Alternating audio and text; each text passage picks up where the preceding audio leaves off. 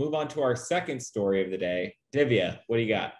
So for the second story, this is really recent and it happened with Facebook. So Facebook claims that it had a it had an outage of 6 plus hours where the DNS appeared to be the symptom for the root cause of Facebook's global failure. And uh, hours later, Facebook finally came back.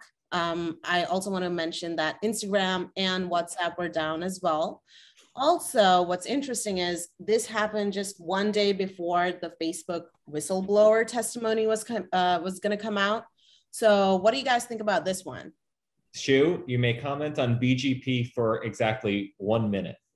I have nothing to comment about on BGP. I was uh, I was mostly uh, thought it was funny because Facebook has tried to be a single sign-on provider forever, um, and part of the story is that the people trying to fix the problems were not able to get into the building.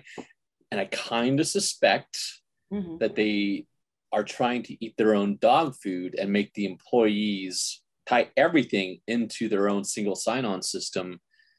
And if that's down, their own employees could not get into uh, the building. So I noticed that in the story as well. Funny yeah. all their internal accounts were down as well. So it made communication really difficult. Right. They they've tried to make Oculus require Facebook, and I'm wondering if the employee badges were also tied into their single sign-on system.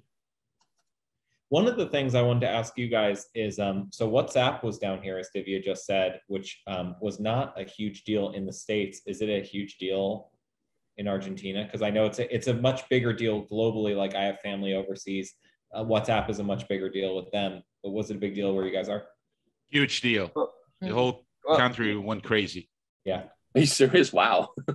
yeah. That happened in India too. I was trying to explain my wife that uh, in the US, WhatsApp it's not really widely used. That you guys text more than you use WhatsApp, mm-hmm. and it was a concept that she was that, that it was really hard for her to fathom because in here it's all WhatsApp. I mean, it's mostly due to the cost of uh, texting because yeah. nowadays i mean companies will give you those for free but until not that long ago they will actually charge you for the sms so everybody would use uh, whatsapp. And i do understand that it's pretty much like that. I know that it's like that in india like you mentioned Divya, and, and it's like that in europe as well. I mean seems that the states might be the exception I'm yeah, sure in Hong Kong, my relatives are uh, use WhatsApp, and I did not receive any text from them or messages from them during the outage. Mm-hmm. Not going to complain about that, but. I'm sure it's pretty much the, the same for everyone. Um, I've heard this was scary for many people uh, because we're so dependent on smart devices uh, to do almost anything. Mm-hmm. So I guess some some people felt like uh, the world was about to collapse on itself or something, wow. um, just to to to be out of the grid uh, for a couple of hours.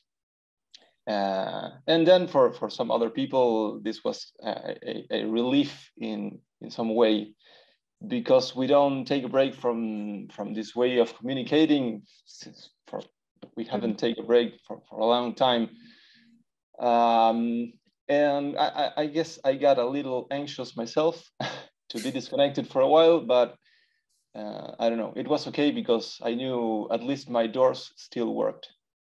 I think we are beyond repair by now. I mean, I'm, I'm speaking for us Argentinians. Uh, actually, I'm speaking for myself.